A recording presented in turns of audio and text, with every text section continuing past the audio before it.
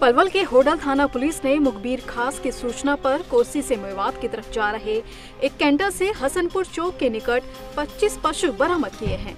वहीं कैंटर में सवार पशु तस्करों ने पुलिस को देख पशुओं से भरे कैंटर को फ्लाईओवर पर ही खड़ा कर वहाँ से छलांग लगा दी, जिससे दोनों पशु तस्कर गंभीर रूप से घायल हो गए, जिन्हें घायल हालात में पुलिस ने दबोच लिया।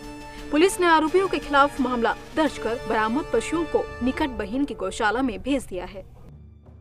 भैया ऐसे है कि एक मुकबर खास ने बताई कि भाई कोसी साइड से एक अपने आइसर टेंटर है, उसमें गाय भर के ला रहे हैं गौ कोसी के लिए।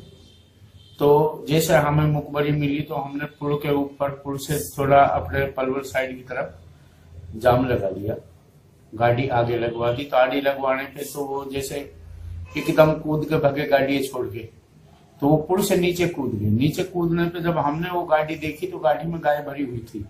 तो हम भाज के नहीं नीचे आए तो नीचे आए पर हमने उनसे नाम पता पूछे तो जो उन्होंने बताया कि शाहिद सनो की यूनुस, और दूसरे लड़का का नाम भी शाहिद सनो पीसा ये अटबर गाँव के थे दोनों लड़के।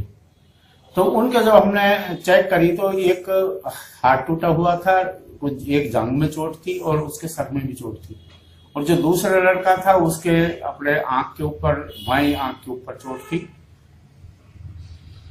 तो तो सर ये मतलब पुलिस को देखकर कूद गए। हाँ ये जैसे इन्होंने देखी ना तो पुलिस ने जाम लगवा दिया गाड़ी पकड़ने के लिए तो फंसेंगे।